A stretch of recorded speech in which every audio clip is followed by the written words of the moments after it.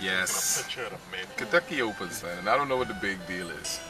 So I decided to come myself and make sure that they still have that quality taste that we know the KFC is known for. don't judge me. They know y'all going to KFC today too. Look at the line though. See if they got that epic chicken. Um, can I get a thigh and leg snack attack mix? Yeah, they gotta be so happy that this KFC's back open now.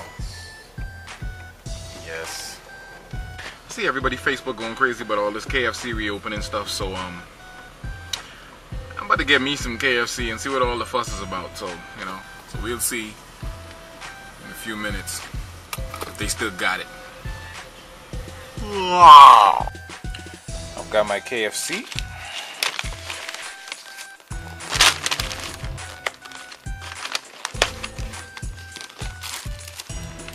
All my friends overseas, that ain't crispy. That's spicy. Time to sample it, see if they still got it.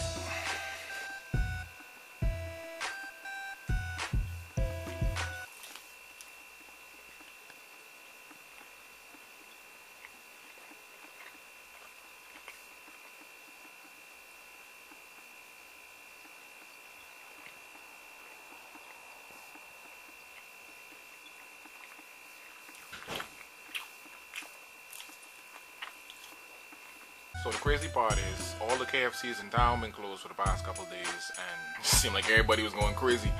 And I know that that many people wasn't that crazy about KFC, but um you don't miss a good thing until it's gone, I I guess. But um yeah, they still got it. So um for those who already been there already, salutes to you. And for those who haven't been there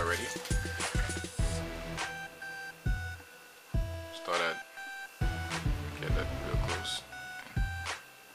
HD. No? No, too bad.